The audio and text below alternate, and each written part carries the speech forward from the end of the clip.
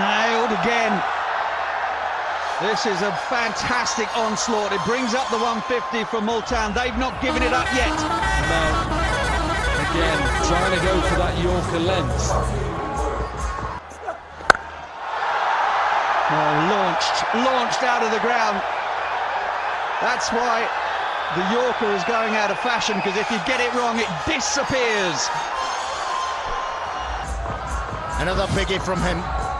Do you honestly think Dominic Cork, he was running up that saying to himself, I want to bowl a length ball right in the slot? Calm you think he was trying to bowl a Yorker Calm and he just didn't execute it That's what he's got to do. Just calm down. You're going to bowl length, you're going to get hit. You don't. Oh, six more, six more. This is brilliant from Iftikhar.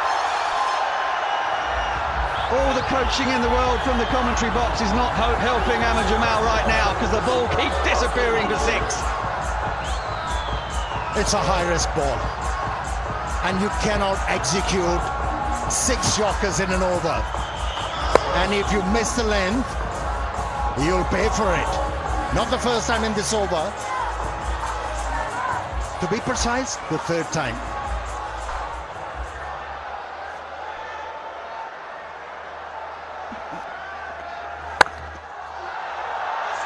That's going. And it's a four. Melted, missed, missed the mark, and it disappears over the fence. And Iftikhar brings up a scintillating 50 from just 24 deliveries. Oh, he's pumped it out of the ground, but it matters not. It's too little, too late for Multan Sultans. And Zalmi have done the double.